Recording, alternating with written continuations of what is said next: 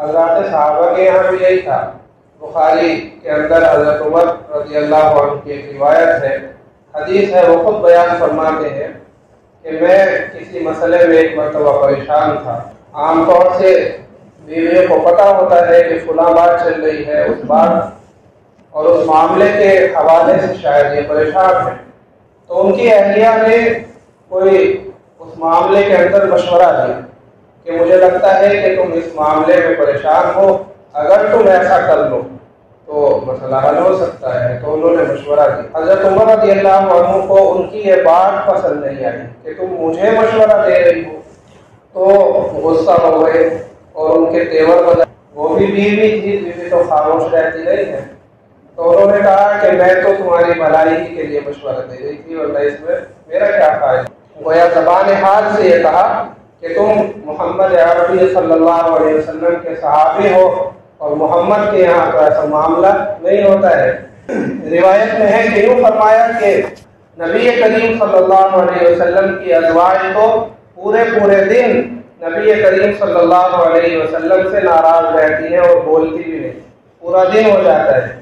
नबी करीम सल्लल्लाहु अलैहि वसल्लम की अजवाज और आपकी बीवियाँ हजूर सल्लल्लाहु अलैहि वसल्लम से नाराज़ हो जाती हैं और बोलती नहीं है। हज़रत उमर रज़ी अल्लाह ने ये बात सुनी तो गुस्सा तो खत्म हो गया। लेकिन हैरत में पड़ गए कि ऐसा हो सकता है। नबी करीम सल्लल्लाहु अलैहि वसल्लम से कोई नाराज़ हो सकता है, जिनके बारे में अल्लाह ने कहा है कि इनकी आवाज़ से ऊँची आवाज़ ना करो, इनके सामने बुलंद आवाज़ से बात ना करो। अगर तुम्हारी आवाज़ हुजूर की आवाज़ से बुलंद हो गई तो ऐसा ना हो तुम्हारे सारे आमाल खत्म हो जाए। इतनी बड़ी बात अल्लाह ताला ने की।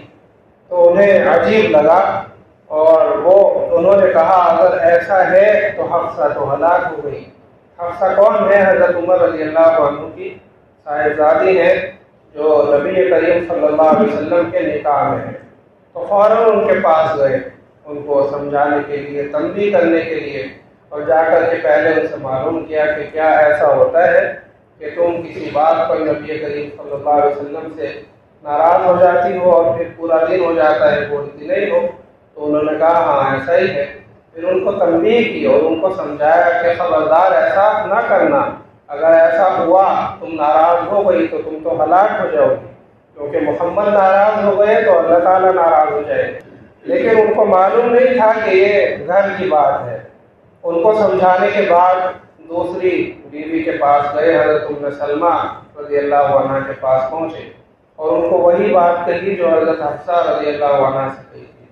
तो उन्होंने हज़रत उमर रज़ी अल्लाह को तंबी कर दिया, आगे से डांट दिया कि उमर, तुम्हारी अजीब आदत है, तुम हर मामले में टांग अड़ाते हो।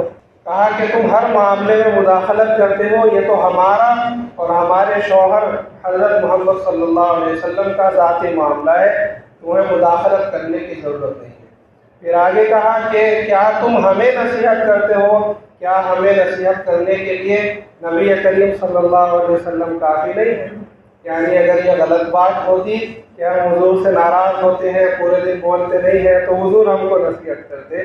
तुम्हें नसीहत करने की ज़रूरत नहीं है। अगर उमर रज़ी फरमाते हैं कि मेरा इरादा तो ये था कि सब अजवाज के पास जाऊँ, लेकिन उन्होंने ऐसा करारा जवाब दिया कि वहीं से मुझे वापस आना पड़ा। तो ये माशरत की बुनियाद है। शोहर और बीवी का रिश्ता जितना अच्छा होगा, जितना मुस्बत होगा तो इसके असरा हर रिश्ते पर पड़ेंगे। और अगर ये अच्छा नहीं होगा तो इसके पूरे पूरे असरा हर रिश्ते पर पड़ेंगे।